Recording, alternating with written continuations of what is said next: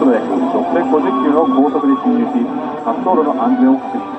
展開および上昇により速度を減じ着陸準備を整えた後3時間で着陸するのです40歳を超えた召喚パイロットも元戦闘機の命が変わる瞬間かもしれませんマンバーグレイク95ファイリーセンター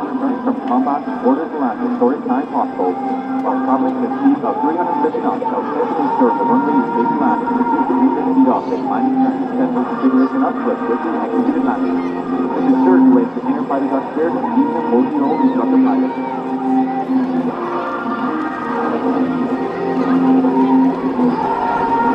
本発ぶり5着以降は、このまま100